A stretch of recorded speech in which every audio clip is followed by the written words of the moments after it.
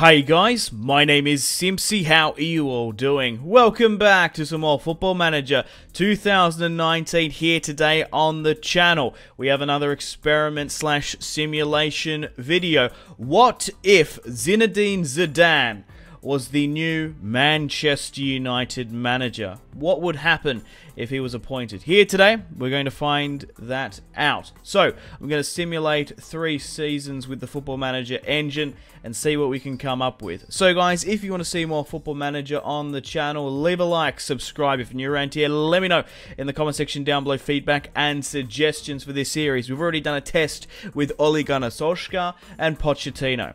In the uh, Ole Gunnar uh, save. He managed to win the UEFA Champions League within three seasons.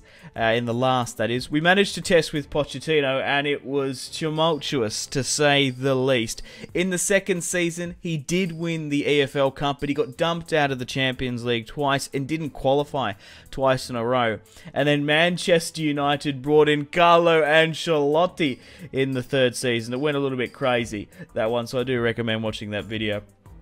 And uh, Carlo in his third season managed to pick up the FA Cup. But we're going to be playing with Zizou here today. We're going to be having a look at him rather. I've gone into the back end of the Football Manager engine and made him the official Manchester United manager. So let's see how he performs in three seasons, players he's going to sign, his sort of formation and tactics, and see how many pieces of silverware he can pick up. Okay guys, welcome to Season 1. It's the 1st of February 2019. So let's see after two full transfer windows who Zinedine Zidane has brought in and sold. So, he spent 150 million pounds, the the least amount I would imagine from the other two. So, we've brought he's brought in Mauro Icardi for 99 million pounds. Ryan Bertrand as well from Southampton for 31 million pounds. Crazy to see that he's joined. And we've also signed Victor here from Dynamo, Dynamo in the uh, in Russia for 25 million pounds here. Jesse Lingard was sold to Chelsea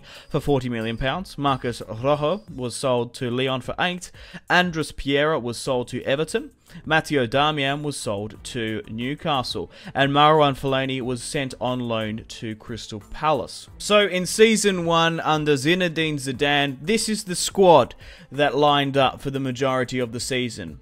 Zidane deployed a 4-1-4-1 with Mauro Icardi up top, Alexis Sanchez on the left-hand side, Juan Mata on the right, Matic, Pogba, and Scott McTominay in the midfield, Valencia, Luke Shaw, Lindelof, Bailly, and David De Gea in goal, with Lukaku, Dalot, Gardner, uh, Garner, sorry, Rashford, Gomez, Bertrand on the bench. So after one full season in the Premier League, unfortunately Manchester City won with 81 points, just shy of Arsenal drawing as well on 81 points in second, Liverpool in third with 77, Chelsea in fourth with 75, Manchester United in fifth with 72. So unfortunately, Zinedine Zidane did not qualify for Champions League football in the next season. So we will have Europa League. Tottenham finished in in fifth, but Watford managed to break seventh. But there's been a huge upset in the relegation scrap.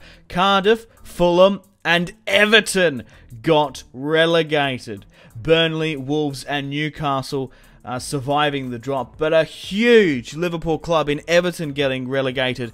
It's going to be crazy to see if they're ever going to bounce back up. So after a disappointing first Premier League season, let's see how Zinedine Zidane did in the cup competitions. So unfortunately, we were knocked out in the fifth round by Newcastle in the FA Cup.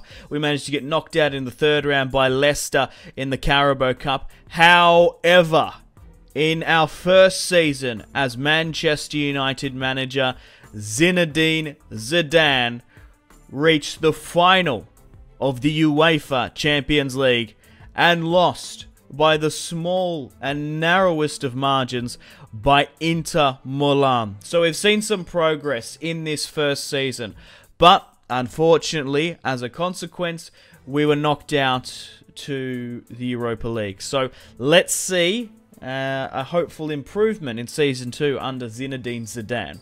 Okay guys, how are you all doing? Welcome to Season 2 of the Zinedine Zidane regime. It's the 5th of June 2020. So, Zinedine Zidane has spent a whopping £260 million, £100 more than last season. However, he has sold £98 million, and there's some controversial sellings. So, Milinkovic Savic from Lazio is signed for £75 million. Emre Can from Juventus is signed for 45 We've raided Monaco here for close to nearly £100 million. Rony Lopes from Monaco for 45 Sidibe from Monaco as well for 44. However, Eden Hazard has made the jump to Manchester United for 41 million pounds. And we've also signed a Mexican player by the look of it for 12 million pounds there. Okay. Marcus Rashford has been sold to Chelsea for 55 million pounds. Uh, that would blow my mind if that happened. There's no way Marcus Rashford is going to Chelsea in real life. Uh, regardless, you never know. It might be an improvement. We, he might be able to win a piece of silverware this season with Eden Hazard at the helm.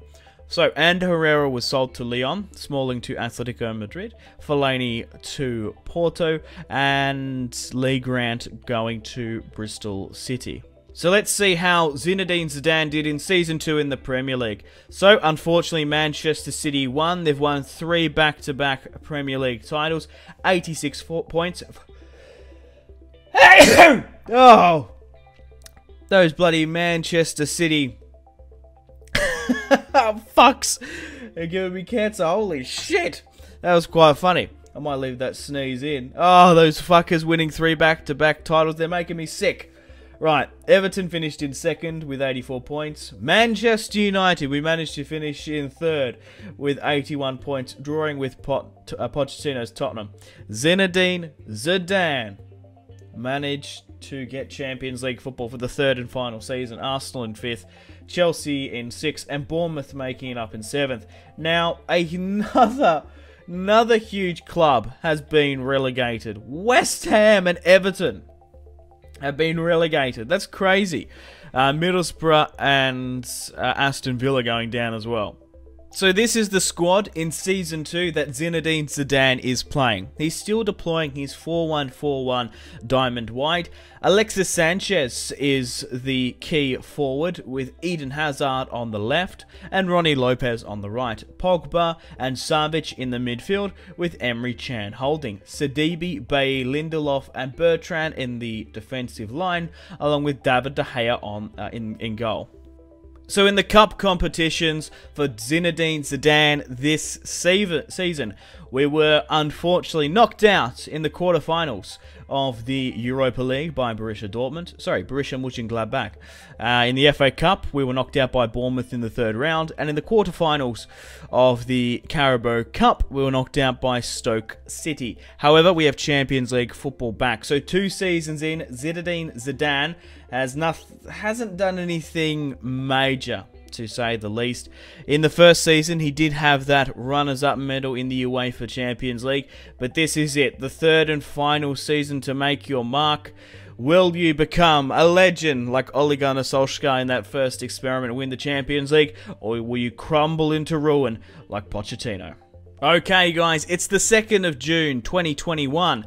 Now, in our third season, after two full transfer windows, Zinedine Zidane has gone all out, and Ed Woodward and the board has backed him. 300 million pounds have been spent with 200,000 outgoings. Lewis Cook was signed from Bournemouth for 83 million pounds. Uh, um, up M. Cano. I, I, don't know. He's a pretty good midfielder from what I can remember. He's a defender. He's French. Uh, 55 million pounds. Embolo was signed from Schalke for 57. Bruno Fernandes was sold. Uh, was signed by sold signed from Real Madrid for 38 million pounds.